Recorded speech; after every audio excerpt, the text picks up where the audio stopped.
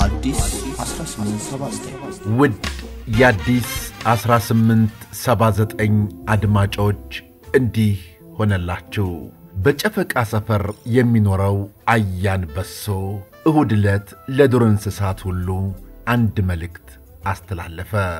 በመልእክቱም እስከ ዛሬ መኖሪያ ደናችን ላይ ጥፋት ያላደረሰ እንስሳ እኔ ቤት መጥቶ ጸበል ይቅመስ አለ። የዱር እንስሳት ሁሉ እየተጋፉ መጡ። ራሳቸውን የተጠራጠሩ ግን ቀርተዋል። አሁንስ አያንበሶ አበዛው፣ እንዳለፈው ጊዜ ቤቱ አስገብቶ ያለ የሌለ ሥራ ሊያሰራን ይሆናል እኮ ብለው ጉልበታቸውን የሰሰቱና መልፋት አንፈልግም ያሉ ተሰወሩ። ከዚህ ቀደም አያንበሶ በደል አድርሶብናል፣ የአስተዳደር ግፍ ፈጽሞብናል ያሉና ያቄሙ ደግሞ አድራሻቸውን አጥፍተው ተቀመጡ።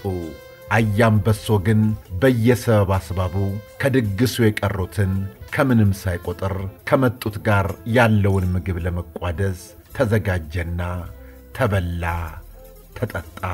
በመጨረሻ ላይ ጎበዝ እንግዲህ የሥራ ዘመን ነውና ቀበቶን ጠበቅ ማድረግ ያስፈልጋል። እስቲ ለመጪው ጊዜ ምን ማድረግ እንዳለብን ሐሳብ አምጡ አለ አያንበሶ። የዚህን ጊዜ ጦጢት አያንበሶ የተሰባሰብነው እንስሳት አንድ አይነት አይደለንም። አንዳንዶቹ ጨርሰው ከዚህ ቀደም መጥተው የማያውቁ ናቸው። መጥተው የነበሩና አሁን ግን በስንት ጊዜያቸው የመጡ አሉ። በረባ ባልረባው ከእኔና ከእርሶ ጋር ተቀያይመው ቀርተው የነበሩ አሁን ሐሳባቸውን ቀይረው ድግስ ለመብላት የመጡ አሉ። ድግሱን ሳይፈልጉት አያንበሶን ፈርተው የመጡም ይታያሉ። ከአያንበሶ ጋር አዲስ ፍቅር ያመናቅር አይነት ሆነው የመጡ አዲስ ግልብጦችም አሉ። ድንገት ደራሾች ናቸው። ብዙ ይበሉ ይጠጡ ይሆናል እንጂ ደህና ሐሳብ አያመጡም። እንዴት ብለን ተስማምተን አንድ የጋራ ሐሳብ እናመጣለን ብላ ተቀመጠች። አጨብጭቤም ቢሆን እመለሳለሁ ከድግስ አልቀርም ብሎ ይመጣለ ብሎ ተናገረ። አያዝሆንም ሁልጊዜ በሞቀበት የሚዘፍንም ጸበል ሊቀምስ የመጣለ በቀላሉ አንግባባም አለ። ሁሉም ተራ በተራ እንዲህ ያለ ሐሳብ ሰጡ። ውጤቱ የማይታወቅ ሁሉም እንስሳ የሚናገርበት ስብሰባ እየሆነ መጣ። የሚዘባርቀው ሙግት የሚወደው አንደበት አለኝ ከኔ በላይ ተናጋሪ ላሳር የሚለው ሁሉም ልፍለፋ ቀጠለ። የጨረባ ተስካር መሰለ። ጥቂት ቆይቶ ነገሩ ወደ ጠብ አመራ። ዝም በሉ ቢባል ማን ሊሰማ? ሐሳብ ስጡ እኮ ነው ያልኩት ቢል አያንበሶ ማናደብ ሊገዛ ሁሉም የኔን ሐሳብ የሚያክል የለም እያለ ጭራሽ ይዋጣልን እስከ ማለት ደረሰ። ይህኔ አያንበሶ ትዕግሥቱ አለቀ። እንግዲህ ሁልሽም አርፈሽ ተቀመጪ። ትዕግሥት ፍርሃት አይደለም። አዳሜ ትምህርት እንዲሆንሽ ብጥበጣውን በጣም ያበዛውን አያነብሮን ምን እንደማደርገው ተመልከቺ ብሎ ነብሮን ሲያስበው ክፉኛ ደቆሰው። ነብሮ ተብረክርኮ ወደቀ። ይሄኔ ጦጢት ትናንት ሞቼ በቀረው ሳልቀበር እኔም የፈራሁት ይሄንኑ ነበር አለችና አያንበሶ ከእንግዲህ እርሶ ባሉት እስማማለሁ ብላ ውልቅ አለች። ሁሉም ዓመት ዓመት ያድርሰን የዓመት እንስሳ ይበለን እያሉ ጦጢት በቀደደችው ወጡ።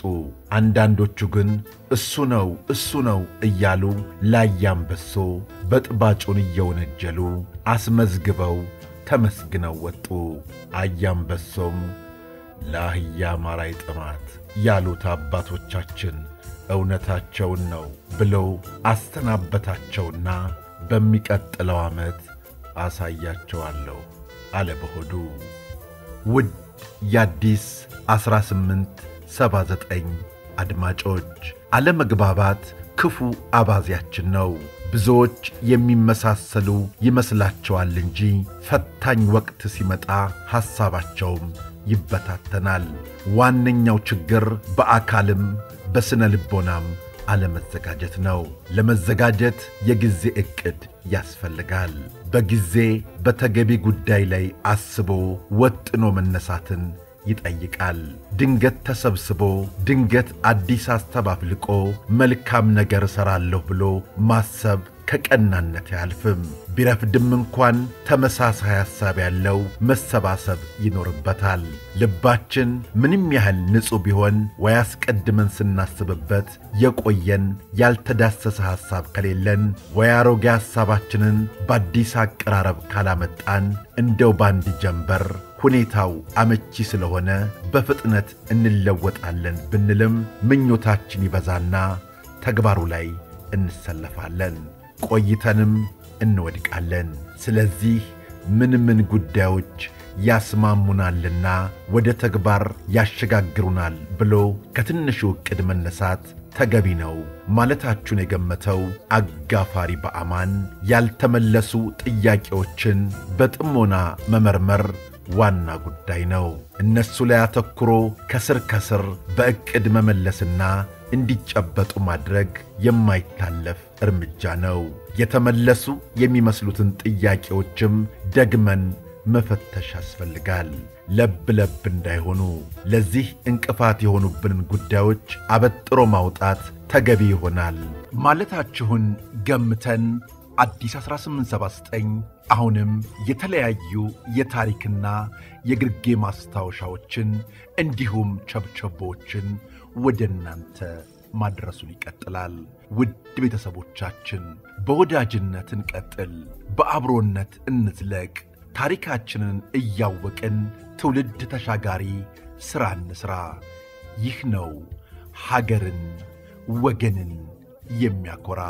ዝግጅታችንን አድምጠው አስተያየቶን ይስጡን። የእውነት ከልብ እናመሰግናለን። ኩሉ አመክሩ ወዘሰናይ አጽንዑ፣ ሁሉን ፈትኑ መልካሙን የሚያዙ። ይህን ታሪክ ሰምተው ዛም እንዳይሉ ለወዳጅ ዘመደው ያጋሩ።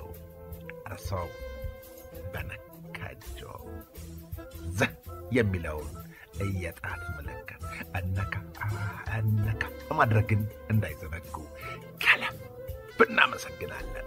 በቀጣይ ታሪክ እንገናኛለን። ባርኔጣችንን ከፍ አድርገናል። ምስጋናችንን ከልብ አቅርበናል። እናመሰግናለን።